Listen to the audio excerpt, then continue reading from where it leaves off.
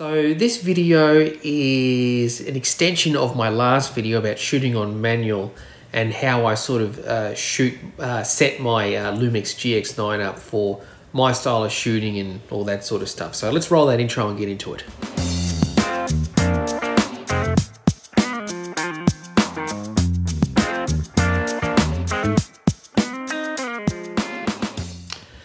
Okay, uh, welcome back everybody. So yeah, this is a quick video to show you my personal settings on the Lumix GX9, okay? So um, first things first is, as, as you can see here, I'm shooting in manual mode. I've got my um, Panasonic Leica uh, f1.4 on, 12 mil, um, fantastic lens. And um, as you can see, I've got my white ba balance set to, set to cloudy day. Uh, there's auto white balance. Um, I just like the tonality of the cloudy day uh, setting, right? So that's a personal preference. I find I get more consistency in my shots rather than leaving on auto white balance.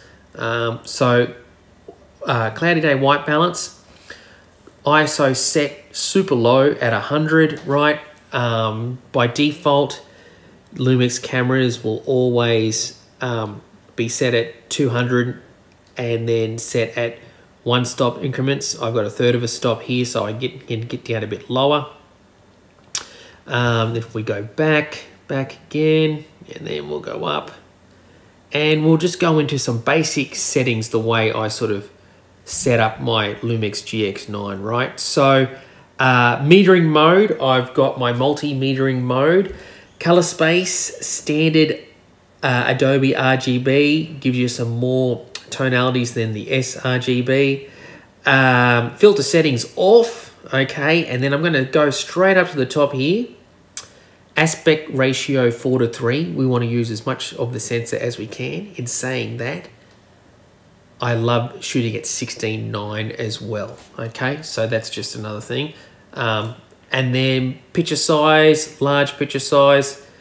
Quality, I've got RAW and JPEG. Okay, so that's going to be very important to my next settings here, right? Scroll down to photo style, okay? And this is how I shoot JPEGs, right? And this is how I get my in-camera results. I shoot on Cinelike V. Now, if we go scroll through, we've got a whole heap of them that we can. A lot of people like the Vivid. That's pretty cool. Natural monochrome, standard black and white, L monochrome, L monochrome D. I'm going to do a video on that soon. Uh, scenery, portrait, custom, Cinelike D, back to Cinelike V, right? So I leave Cinelike V on all the time. This gives me my JPEG result straight out of the camera, right? So if we dive a bit deeper in, I've got my contrast boosted at plus two. I take down the sharpness a tad at minus one. I take all the noise reduction out at plus five, so I boost my noise reduction values. And then I just take a little bit edge, a bit of edge off with my saturation, right? So I'm at minus two. Um, you know, you can boost your saturation and then that's zero. And then I just like taking a little bit of edge off with my saturation. The biggest thing about this is this is the JPEGs. This is not going to affect the raw images, okay? So when you go to do stuff in Lightroom and you use your raw files, this information is not going to be baked in, but it will be baked into the JPEGs.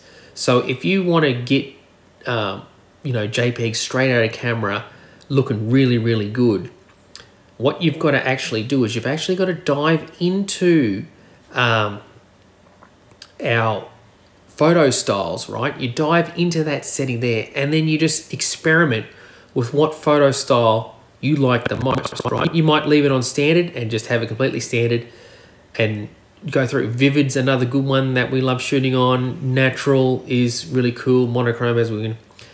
But you know, it's taken me about four or five years to realize that for me and my JPEGs, straight out of camera, Cinelike V is, for me, the best looking result with my JPEGs, right? And all you do is you just spend a few months just tweaking the settings. So you customize what you actually like, right? Boosting contrast, taking sharpness down. You might want to work the other way. You want to might boost the sharpness even more. It's all up to you. And this is why Panasonic systems, um, you know, once you get in there, you can really customize your own style and look with your JPEGs. So I highly recommend getting into that photo style and tweaking the increments there, right? So um, really that's about it in a, is in a basic sort of setting, right? I've got, um, if we dive in a little bit deeper, operation here, you can go in, you can set all your dials and stuff like that. As you can see here, I've got um, f-stop at the front and then I got shutter speed at the back.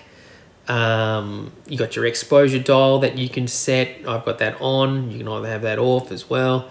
Um, I don't use that because I don't shoot in aperture priority, but going back, you just got to dive deep into the menus to, to work out how you like to shoot and what you like to shoot. My end goal one day is to start delivering JPEGs straight off the camera, straight to the client, right? I'm not talking high end work, but I'm talking like small family portrait sessions and stuff like that. Getting my um, JPEGs to a standard where the client just instantly likes them. And it's it's getting to there, but you've just got to not just rely on the basic functions of how the camera comes default. Get in there, tweak your settings, and make the camera work for you. If you've got any questions, leave them below. I'll be happy to um, answer if I can. And yeah, um, just get out there, take some shots, shots, and then experiment with your settings. Okay. So until next time, keep shooting, and I'll see you later. Bye.